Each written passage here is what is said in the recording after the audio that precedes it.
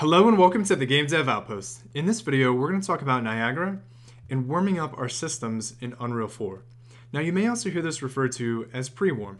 And the idea here is that we would start our systems sooner, but later in our simulations. Now there's also a whole bunch of different reasons why you might want to do this. And the main one being that you don't want to see your particles spawn in. So think about a fire, for example.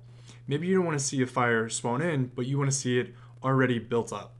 So to get this started, I'm using a Niagara emitter and a Niagara system that I created in the ambient dust effect video.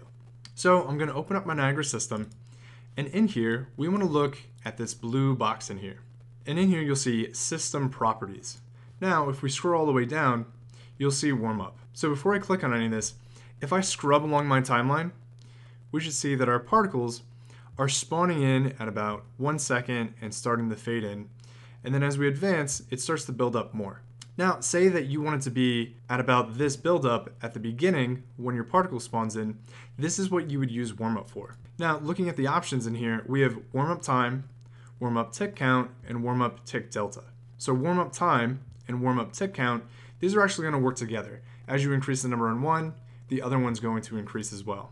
And if you try and grab these numbers and you try and just slide them up with your mouse, it's not really going to work. You're going to have to type in the numbers. So for example, if I just put in 5, right away you'll see that now we have particles spawning in earlier.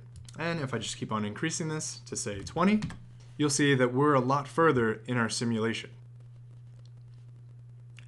And that's about it. It's pretty simple, it's pretty straightforward. And once again, there's a whole bunch of different reasons why you might want to use this. So before I finish this video, I'm to go take a look and I'm going to go play just to see how it's working. If I hit play, we just see that these are already going. They're already snapped in. And if we just go back to our system, and now I set the warm-up time back to zero, save it, take a look. Now we'll see that they're fading in again, just like they did originally.